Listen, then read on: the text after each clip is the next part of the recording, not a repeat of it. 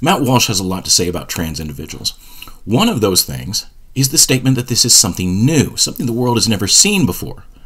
That's not quite true. I'm going to give two examples of trans identities in the Bible and go over the biblical teaching concerning this belief practice. Now, before we start, let's address the elephant in the room. Why have you never heard any of this before? And the answer is very simple because the ancient Hebrews were describing the practice in a very different way than how we describe it now. So, for simplicity's sake, I'm going to reduce this whole thing down to its most basic essence. The key element to understand the trans phenomenon is the question of how we perceive truth. When somebody asks you, What is truth? there are only four possible ways to answer the question. You can give the relativistic answer, It doesn't exist.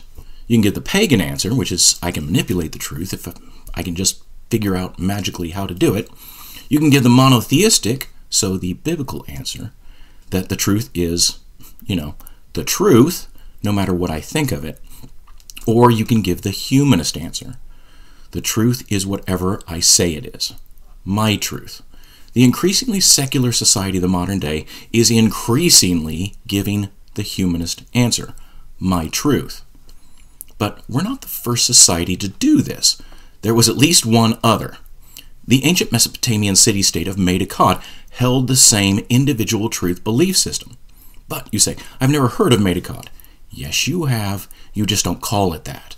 You and I use the pejorative term, the insult word that the Hebrews gave it. You see, the monotheistic Hebrews took a pretty dim view of individual truth. They thought that without objective standards, that human thinking would become disorganized and veer off into mental illness. And so they gave Mede-Akkad a name that reflected this. Mede-Akkad really means land of Akkad, but the Hebrews dubbed it the land of confusion, or in Hebrew, Babylon. Now, we get a ringside seat for the final days of the land of confusion in the book of Daniel, the first four chapters of which are largely centered on the ruler of Babylon, a man we know by another pejorative. His name was really King Nabonidus. We call him Nebuchadnezzar, the Hebrew word for an extra large container of wine. The reason for this is that the main Hebrew metaphor for Babylonian thinking was the so called wine of madness. They thought that individual truth led to convoluted thinking in the same way that alcoholic intoxication leads to convoluted thinking. And so it was a natural metaphor for them. If buying into Babylonian thinking was like drinking the Kool Aid, then Nebuchadnezzar was the Kool Aid man. And the first four chapters of Daniel show us exactly what this looked like. We're told that Nebuchadnezzar had a dream and wanted it interpreted. But Nebuchadnezzar, like any good humanist, was skeptical about metaphysical claims. He wanted proof that his magicians could do actual magic. So he proclaimed, Either you magicians tell me what I dreamed, or I kill every one of you. The Hebrew prophet Daniel interpreted the dream. It was a vision of a statue with a golden head, which represented Nebuchadnezzar's golden city of Babylon, the height of civilization at the time. Faced with evidence of the divine, does Nebuchadnezzar change his stance and become a Hebrew style monotheist? Nope. He does, however, turn the vision into reality by having a giant statue built just outside the city. The text never actually says that the statue was him, but I think the idea that it was a replica of him from the vision is probably one of history's safest assumptions. Now, the story says that next to this statue, Nebuchadnezzar sees another miracle Shadrach, Meshach, and Abednego surviving a dip in the metal smelter. That makes two. Does Nebuchadnezzar change his beliefs in response to repeated direct experience? No, he does not. Which brings us to a second dream. This one, not so complimentary. This one is of a tree falling over, pure collapse imagery. A top heavy society, well, at this point, it's a person, which is going to prefigure the collapse of that society. And Nebuchadnezzar is that person, reliably stated to him by the same guy who miraculously told him about the last dream. So, what does Nebuchadnezzar do in response to this? Does he become a monotheistic ancient prepper getting ready for societal collapse? No, he does not. Instead, he goes onto the ledge, literally, and proclaims himself the cause of all Babylon's greatness. Babylon, a city that was well over a thousand years old before Nebuchadnezzar was even born. And this is where he goes trans. But wait, you say, a minute ago we were talking about individual truth. That passage makes it sound like this was something that was imposed on him as a punishment. It can be both. This is the 6th century BC. Modern psychology simply does not exist yet. have an affective disorder leading to a breakdown a la King Saul, we describe it in terms of an evil spirit from God. Heck, the Hebrews consistently refer to the prophecy that one day the Babylonian Kool Aid, the wine of madness, would become a global phenomenon, is rendered in terms of divine authority. That's just how they described things. And on top of that, it's still how we describe it as something delivered externally. Minotaurs? No mention of individual truth. No, this article talks about society. But again, we're dealing with a good humanist here. So it's society and not God that is making the difference, and of course, it's seen as a freedom rather than as an imposition, and certainly not as a punishment. Still, all I've said so far is that it could mean he changed his identity. But then again, it could mean that this happened against Nebuchadnezzar's will. So, why do I think it's the first? Two reasons. Number one, it explains how he stayed in power. Seven years is a long time to crawl on all fours.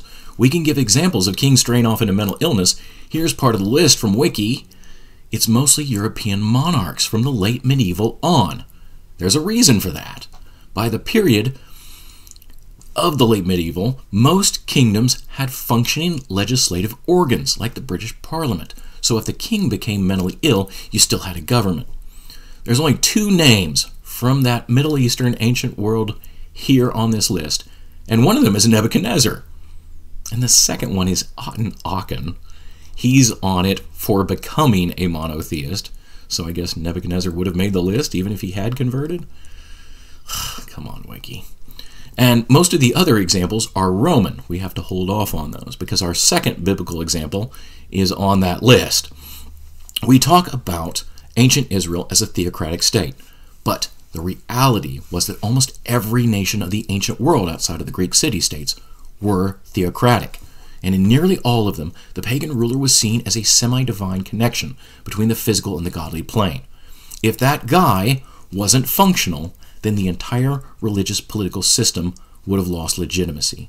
Here, when it says Nebuchadnezzar was driven away from men, it probably means he was sequestered at an estate far away from the palace, where foreign dignitaries, who would not have understood him living out his authentic self, couldn't lay eyes on him.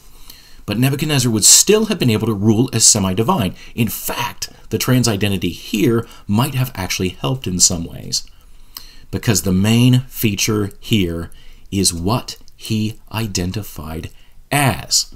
The wiki article mentions the traditional diagnosis of boanthropy, thinking that you're bovine, and then everyone assumes that he thought he was a cow.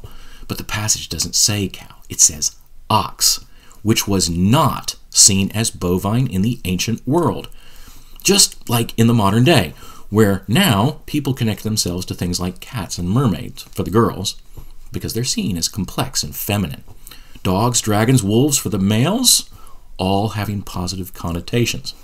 I'm still waiting for the first I identify as a banana slug or as a three toed sloth. Well, it was the same here. In the ancient world, the ox was the primary symbol of strength and power.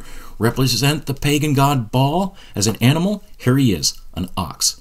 Moloch in Canaan, Chemosh and with the Midianites, Amun, the father god figure in Egypt, all gods, all central to the pantheon, all oxen. And that's what Nebuchadnezzar is doing here. I bet real money.